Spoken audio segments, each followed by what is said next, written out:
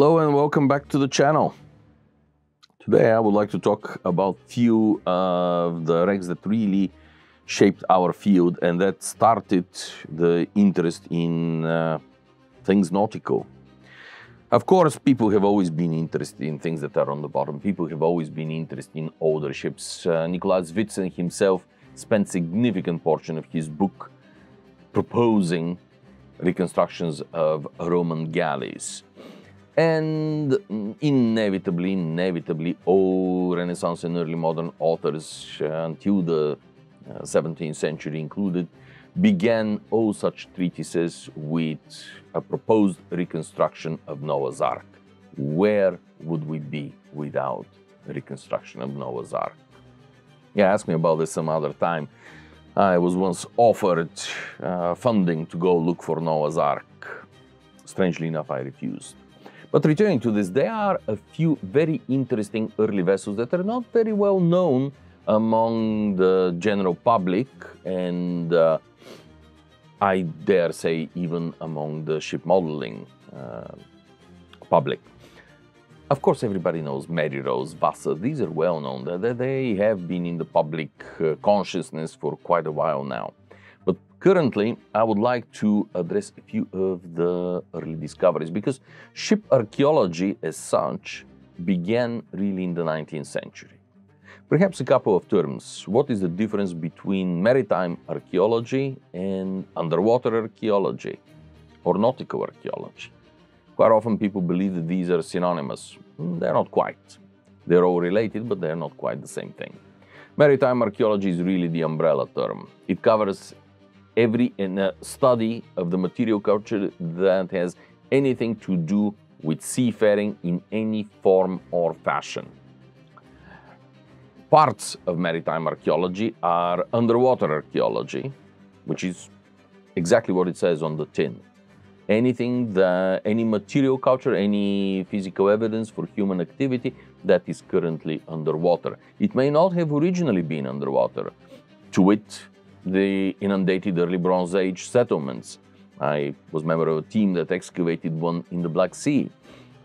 Uh, but anything, so it may be settlements, it may be shipwrecks, it may be abandoned ships, anything that has to do with seafaring that is underwater now is obviously underwater archaeology. And then there is nautical archaeology. Personally, I consider myself a nautical archaeologist because nautical archaeology deal specifically with ships. They may be on dry land, Vasa, the ship burials, the Viking ship burials, ship sacrifices, and that's what we will be talking about in just a moment here. Anything to do with watercraft, whether they are on dry land, underwater, or in any other form or fashion that you can think of.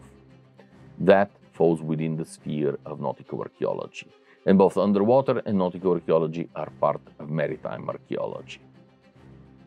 So, without further ado, let us begin talking about specific wrecks that really started our physical uh, our studies of physical remains of shipwrecks. Here, I will take my laptop and I will show you a few of uh, the slides that I have in mind. The first vessel that we will be discussing is the Nydam ship. It was excavated between 1859 and 1863 by the archaeologist Conrad Engelhardt. And it was excavated essentially in a bog at the settlement of Nydam, which at the time was part of Germany, though at the moment it is part of Denmark. The site itself is broader than simply the shipwreck. It is a warrior sacrifice site uh, parts of shields, part of, uh, parts of helmets were excavated, swords that were intentionally bent in two, which is evidence that this was a sacrificial site rather than a burial site, sensu stricto. So the site was in use, the bog was in use for quite a long period of time, from the middle of the 3rd century AD to about the middle of the 6th century, so nearly 300 years of depositions. There are more than one ships, at least three ships there, uh, at least two ships were buried there. but the one was best preserved, almost complete, and was fully excavated, documented, and is exhibited in a museum nowadays. That is the Nydam vessel. As you see it here, the Nydam ship is very interesting with two things. In a way, it is an early version or a precursor of the Viking vessels. It has clinker hull, it is uh, fastened with iron rows. Cleats are carved out of the plank inside that tie the planking to a frame. Um, net, I suppose, is one way of putting it. The vessel was strictly rowing ship.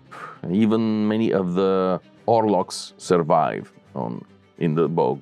It had one quarter rudder, which was on the starboard side of the vessel, as it's typical for the north, specifically for the Baltic region. She would have been quite flexible. There is absolutely no evidence for a sailing rig.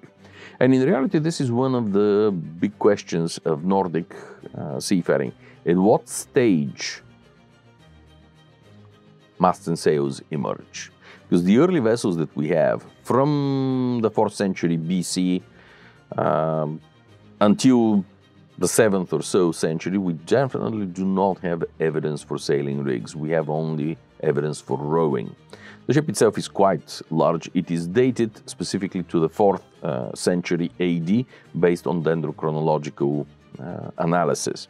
It has been published. There are a number of publications that show it. And it is a beautiful, interesting vessel. A little bit later in the 19th century, Oluf Rygh excavated the Tune ship in uh, 1867 in Norway.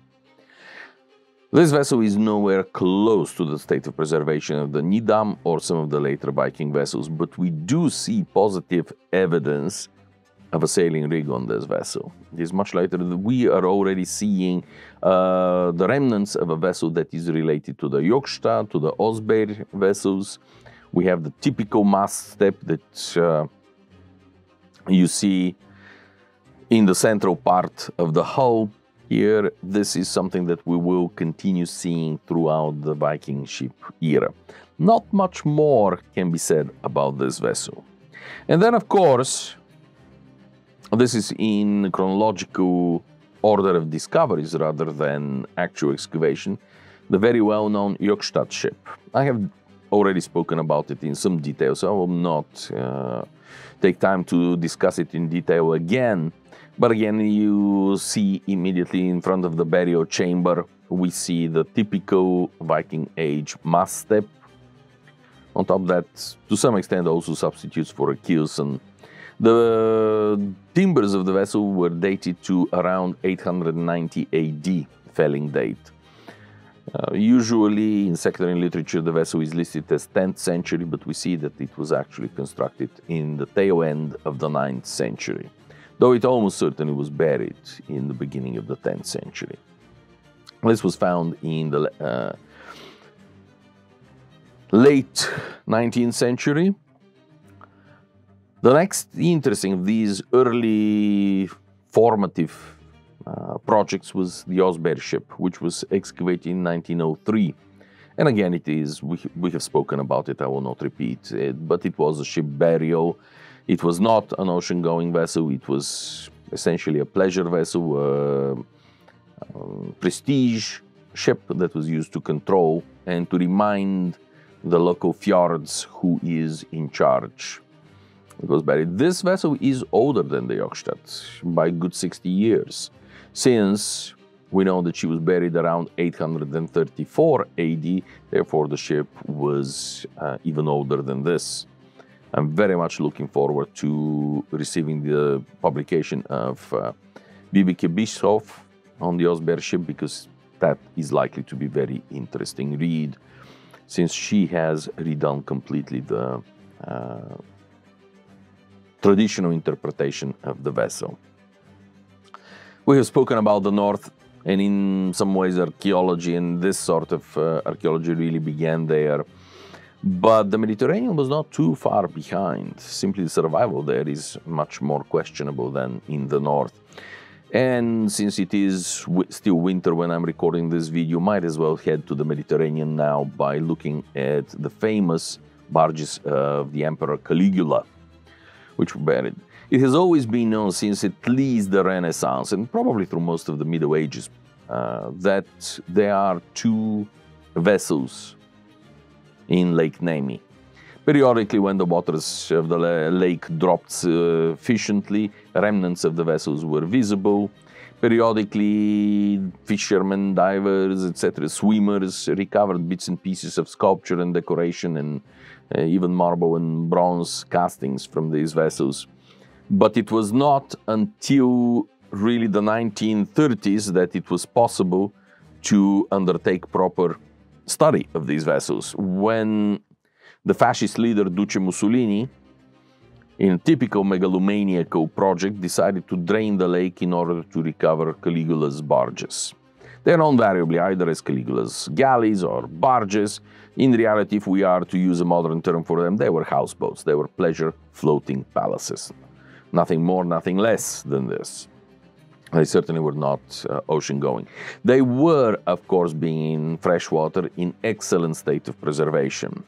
The lake was drained, the barges were recovered, the museum was uh, built around it. Unfortunately, the museum and the original hull remains mostly were destroyed during World War II during the battles between the retreating Germans and the advancing Americans. Needless to say, both sides are exchanging blame for who destroyed the museum.